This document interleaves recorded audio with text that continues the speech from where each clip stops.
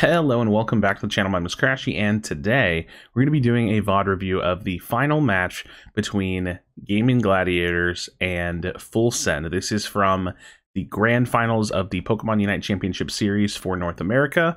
And I just want to catch back up with this. Now, I watched this all on stream, so I actually didn't think about doing a video for it, but not everybody watches the stream VODs. Let's go ahead and dive into it. So currently, let's set the stage. Gaimin Gladiators, or TTV as you might know them, are currently winning the series 1 to 0 and we have the two teams here. So let's take a look at them we have zugrug playing full tank kind of build on wiggly with an eject button. We have Toon playing very standard Cinderace build muscle scope buddy barrier with eject button on Cinderace. Goof muscle focus band buddy barrier double band buddy barrier with eject button on pikachu. Indy bear going to be playing a pretty standard eldegoss build with muscle exp share buddy bear buddy barrier and then he's been using some x speed lately and then Lutano with like triple damage item. Well, you can't actually see that. Hold on. triple damage item Lucario with muscle, attack weight, and razor claw with a slow smoke. So relying on that handshake to uh, get his scores in for his stacks and then being as strong as possible. Otter is actually going for a more tanky, score heavy kind of build. So interesting there. Uh, Celestial, very similar setup. Red Love, really standard Venusaur setup. Uh, Snow Points, standard. Bloodline standard on the Wiggly Eldegoss. All these builds, very, very standard builds that we're used to. So full tank builds, EXP share, muscle band buddy barrier, double band buddy barrier, uh, muscle scope buddy barrier. So, all right, let's go ahead and get into this second game. So here we are. Well, let's, I want to make sure we get, we get, wait, wait, wait, wait, let's, let's find our way in. All right, so 950 on the clock. We got Toon. The observing definitely should be watching one of the lanes. All right, now we see the lanes break down into the first uh, fight, and it does look like GG walks away with that one. So now you can see they have the kind of position, the levels to be aggressive. Goof does have his web, so Zugrug going to be able to play pretty aggressively here, and I think they don't actually walk away with that one. So they're trying to steal this if they can, but they can't. So pretty pretty even start. You know, GG probably has uh, two. I don't think they lose that one now. So it's like three to two right now. Or wait, two to one right now. Will inevitably be, or two to two right now. Will inevitably be three to two on the Audinos. My math is terrible today. And we'll see how that top lane's going. Lutano a little bit ahead in experience. If he can get back to his side, he might be able to push for that level five. Celestial did a pretty full normal clear. Looks like both sides did pretty normal clear. So no level 5 on Lucarios. You see Lutano playing for that push.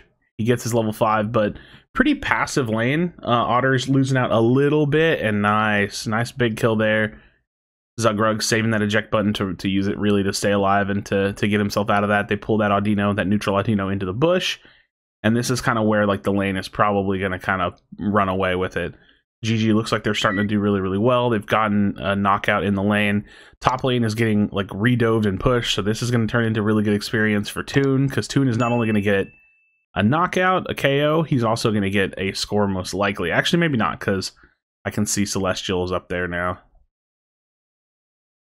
Nah, I mean, there's not much you can do. So that's big experience right there. You can see getting a 30 dunk is like almost like a full level in the early game.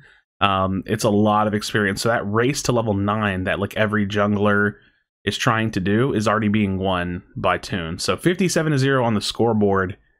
Bottom lane's doing really, really well. It doesn't look terrible though, right? Like they're not stuck at levels. They've gotten some farm. Bottom lane's doing pretty well, but it's not the end of the world for full send. They're just a little behind, tiny amount and uh, top jungle for Game Gaimin Gladiators doing really, really well. Now, an aggressive gank on bot lane, this is going to get Zugrug. This is really nice. They have that five man really early, really early five man. So they're trying to leverage the fact that they're behind by getting into bot lane really quickly. But Toon does show up. They're going to turn this around very quickly. 720B spawns. So not only does Toon get a couple of kills, you can see he's over a level over uh, Celestial. So like seven and a half to like just shy of like eight and a half so he's like, yeah, he's like about a level higher than Celestial, which means the race to level 9 is in his favor. So the only chance that Full Send has here is to like really get down here and either rip it very quickly, which is already out of reach because uh, Toon is level 9, or to try to be really, really aggressive and force a fight. That said, it, it, took them a little too long. Toon's down here, he gets 9, they're already pushing in, they're just A-pressing, focusing on killing the enemy players. Celestial steps in, but they're not going to get it low enough to even get close to stealing, and they walk away with it. So early game from GG, very strong in the bot lane, but it didn't get it didn't turn into like one of those big strong bot lane stomps. It was just very strong. Like they did well. Now they full break the bottom goal. They're looking to for a tier two push here. There's no jump pad, so they can be incredibly aggressive here. And they're taking the lead. This is one thing that I've always noted about a TTV. They take the lead and they like shove it down your throat. They will not let you breathe sometimes. Uh, so Toon does go down. They're going to give up some experience doing this, but they're also taking a lot, right? Like they're getting a ton of turn in, which is huge, right? They're stealing some of this back lane farm. They're stealing whatever farm they can, and um, yeah, they're ultimately just kind of stomping. Is is really like the the picture of it. So, but they do give they give they give some experience. Don't get me wrong. Full Send now can five man push this bottom tower. We'll probably get them to break it or get it very very close. So, you know, you could definitely call that a little bit of an overstay. they probably gave up way more experience and turn in than they needed to off that. That's kind of okay. Just because of how far ahead they are. Like, the levels are actually pretty even now based on what happened, but score wise, they still have the majority of the uh, the benefit there of getting that score.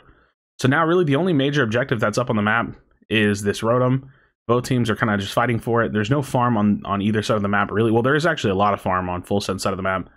Uh, but they do get control of this Rotom. Lutano's going to pop that Unite move and just try to get himself moving around. Oh, Toon gets his Unite move canceled, so this is going to be a, a, weird fight, kind of a tough fight for Toon. They're going to try, try to see if they can get some turn in. I don't think anybody got those turn ins. So they got the, the 20 points in. Now we do have that Dread timer is almost up. So they're going to just be full rotating bot lane see if they can get down there both teams you can see on the map are rotating to bot lane for this dread. At least they were able to defend from like a big 40 turn in or something in the top lane. But this is going to turn into a pretty big mid game fight. I love the full rip call there. They just completely rip it. Bloodline uses the wiggly ult, but really nothing they can do. And this is like that four minute mark where you want to be using your ults, your unite moves, lots of farm on the map so you can kind of see everybody's pulling to their sides, their respective sides, doing their farm. Uh, Red Love getting a nice little dunk in top lane, you know, trying to keep them, uh, you know, slightly point relevant if possible. We'll see if he goes for another redunk. Yeah, he is just based on the points that were in the bottom lane. And Zugrug might even just be going forward to pop ult just to turn in because it's that four minute mark, right? So, like, that's what we're going to see, right? Oh, uh, so Indy did it. So Indy was popping his buddy barrier ult for Zugrug to see if they could score. They couldn't do it. It's just because there's that time, right? That that time that they have. Nice big overdunk. Celestial's probably going to die for it, but that's that's good points, right? To close that gap to get something out of out of this kind of like trade, right? Goof looking for a reason to ult, you know, same thing. When you have a unite move, you don't want to not use it. He's going to go ahead and be able to run down snow points. So you have that ability to use it. Pikachu 330 ult, totally fine. You'll definitely have it back and uh, you just need to make sure that you're using your ults at a time where you can guarantee that you have it. For most characters, it's like around that three, you know, 45, uh, you know, four minute mark. You want to use your final ult before Zapdos. Uh, for Pikachu, uh, Aegislash is like a little bit lower too. I don't really remember the full timing of it. You can probably use it closer to like 330 for an Aegislash ult as long as there's some farm. Nice aggressive playstyle here. They get that like first kick in. Zugrug is able to follow it up. So they can chunk Otter uh, quite a bit. They don't have the Venusaur here. And this is not, this is pre-Hoopa meta. So we don't quite have our teleports. So they're going to be able to get control of the Rotom. Which honestly, this is a very contestable Rotom. I feel like, but they didn't go for it. So now this puts the responsibility on Full Send to like deal with it. TTV can full rotate to that bottom dread. Lutano's just playing for vision. He doesn't have to engage, he doesn't have to fight them, but he can look for vision. He can mirror them. He can show as a presence, right? And they can go ahead and rip this. Zugrug's basing just in case he needs to go defend top lane, most likely. You can see, like, Lutano's still holding vision on the top side of the map. So Lutano is dancing up there. You can see it on the map looking for vision, and this is where a big flip happens. They're all standing in the pit. They know that this is their big win condition, most likely. Big Unite moves are going to come down. The we're in the lead call happens, and it just turns into a massive flip. Full Send actually gets control of it, but it's all going to turn into the response from GG. So GG trying to get as many people cohesively down as possible. and we'll be able to watch the scores. There's still a minute 40 left, so lots of time, a lot of time to be able to make decisions about how many people are alive. They know that they scored 200. So this is a really, really important push here because they need to try to zone out. You can see that they're zoning really, really well. All right, so that's 100 in rebuttal. They're already winning, and a minute 20 on the clock. There's still lots of time for people to farm and make decisions, right? Like Zugrug most likely will be able to get a Unite move, or maybe can get a Unite move, I, I mean, if he didn't use it. Um, so there, there's time, is what I'm trying to say, that there's actual time to, to decide things and do things with. But they're actually winning, and every team, both teams here, are going to get a close call, like close battle call.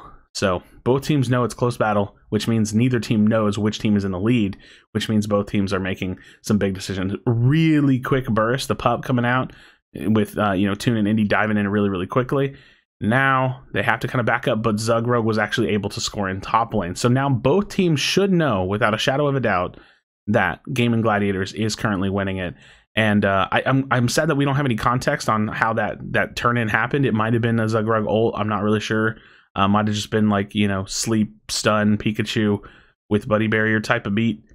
But Zugrug's going back. He knows he needs to stop any turn in because they don't know how big their lead is. I mean, they know that it would have to be at least a hundred match score to go back to close battle, but they just don't want to turn let anything turn in. So Zugrug getting that score in for them, they didn't. We know that they didn't need it, but they didn't know that because it was just close battle. So really solidifies the win. That 56 not going to be enough to to catch back up to it. They know that just based on being able to track the scores. And Gaimin Gladiators take it. So big response post Zapdos flip big kills, not to let them score more than a couple hundred, and then big response to uh, push the enemy side and get a score. So Full Send honestly played amazing in this game. They they were kind of behind for a while, and they just had to claw their way back and then go for a big flip to try to see if they could turn the game around. GG played pretty fundamental for both games and locked it in. So big congratulations to Gaimin Gladiators on their first event under the new name, under the new org and a really fun one to watch. So, friends, thank you so much for watching. Please drop a comment if you wouldn't mind. Gaimin Gladiators still one of the most dominant teams, at least very very least the most dominant team in in North America. But it's going to be really really fun to continue to see this series progress, eventually get us to Worlds, and then see different metas clash and things of that nature. So, as always, friends, drop me a like, drop a comment, subscribe to the channel if you haven't already. trying to keep up with the competitive scene. It's a lot of fun for me and hopefully fun for you. So let me know what you think in the, in the comments down below. Be sure to be kind to one another. Tell someone that you love them, and I'll see you on the next video.